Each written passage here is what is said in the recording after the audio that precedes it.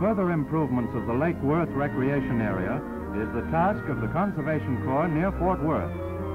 5,500 acres, about half land and the other half water, nine miles northwest of the city, is the scene of action. Approach is by State Highway number 34, two broad strips of concrete separated by a landscaped lane.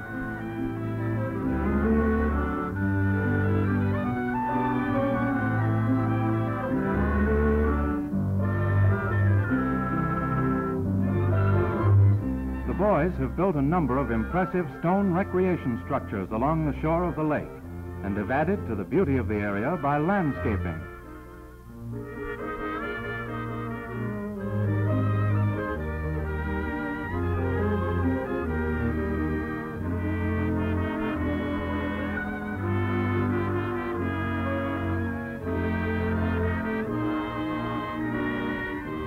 These are concrete tabletops for outdoor picnic units.